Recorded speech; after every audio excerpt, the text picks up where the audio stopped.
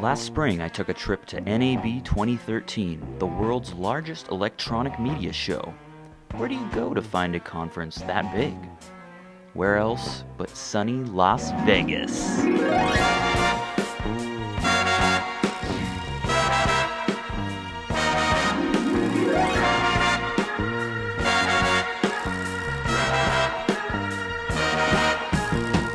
NAB takes place in the Las Vegas Convention Center, a 3.2 million square foot structure that practically demands a good pair of walking shoes. For the show, the convention center was filled to the brim with cool gadgets, cutting edge technology, and industry professionals. One of the big themes this year was 4K video.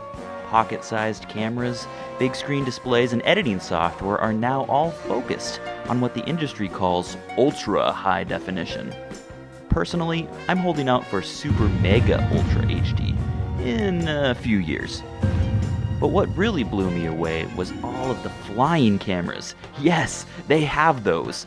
RC helicopters hovered around the crowds to attract attention to booths.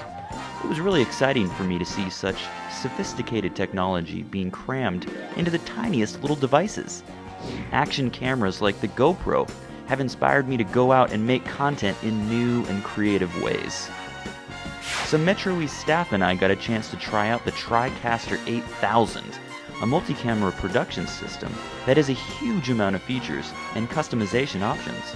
As you may have heard, we ended up loving it and decided to install one in Studio A. It's being used right now. So what's next for Metro East? One of our goals is to get modern, future proof equipment that producers can use to make compelling HD programming.